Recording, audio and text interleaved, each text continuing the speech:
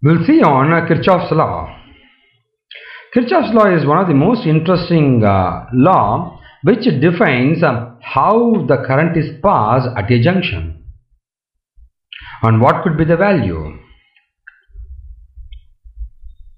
So this is the index we are going to see now that's Kirchhoff's law. The first law, second law followed by the Wheatstone bridge, meter bridge and determination of specific resistance and determination of temperature coefficient of resistance. Now we'll see on Kirchhoff's law. So Ohm's law is applicable only for simple circuits.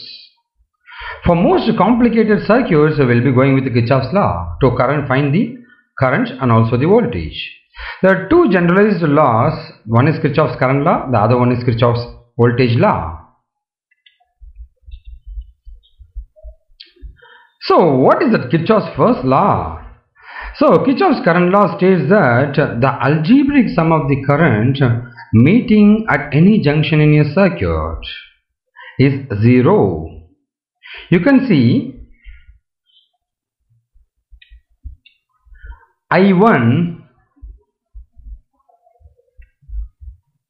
which is coming inside I2 which is going outside so minus 2 minus I2 I3 is going out it's minus I3 I4 is going towards so I4 plus I4 and I5 is going towards it's plus I5 so the combination of or sum of uh, all the current at a particular junction O is considered as 0. The convention is that the current flowing towards a junction is positive and the current flowing away from the junction is considered as negative. So let 1, 2, 3, 4 and 5 be the conductors meeting at a junction O in an electrical circuit. And I1, I2, I3 and I5, I4 and I5 will be the current passing through the conductors respectively.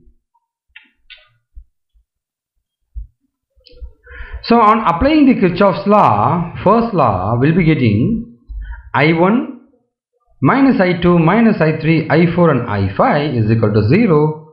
So minus will become plus here. So minus will come plus here, minus will become plus here. We'll be getting the equation I1, I4 and I5 is equal to I2 and I3.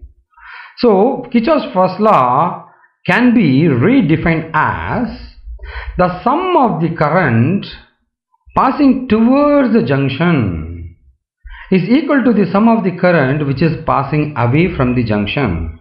This law is a consequence of conversion of conservation of charges.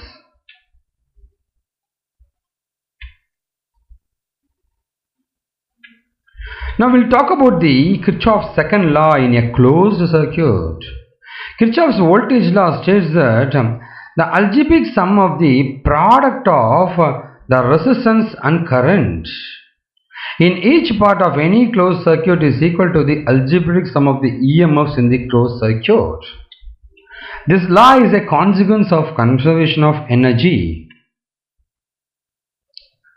In applying Kirchhoff's law to electrical networks, the direction of current flow may be assumed either clockwise or it can be anti-clockwise. If the assumed direction of the current is not the actual direction, then on solving the problem the current will be found to have negative sign. If the result is positive, the assumed direction is the same as actual direction. Good. Further moving, this is your closed circuit. So this is how we are going to take it. If it is in the clockwise direction, if it is in the clockwise direction, we'll consider it as positive. If it is anti-clockwise direction, opposite direction, then it's considered as negative. Let us consider the closed loop electrical circuit A, B, C, D, E, F, A. Let's take on the closed circuit of ABCD EFA. We'll get through Kirchhoff's second law I1 into R2 plus I3 into R4 plus I3 into small r3 plus I3 into R5 plus I4 into R6 plus I1 into R1 plus I1 into R1 is equal to the total electricity is given from E1 and also through E3 which is given here. This is your Kirchhoff's second law.